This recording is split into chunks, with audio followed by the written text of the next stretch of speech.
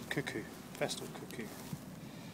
She's looking for another bee's nest. She's quite distinctive because she's no mid-band. And the tail band is sort of bright white with a yellow band. So it's not really buff, it's actually yellow. She sort of mimics multiple bees. So just follow her. So, ah, red tail and cuckoo together. They might both be cuckoos. We can tell, but I like to follow them because give me a clue as to where the bumbles themselves might have nested. And they're big. So I've just seen a cuckoo go in there.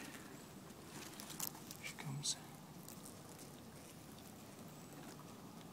It's an obvious spot really. She's back in.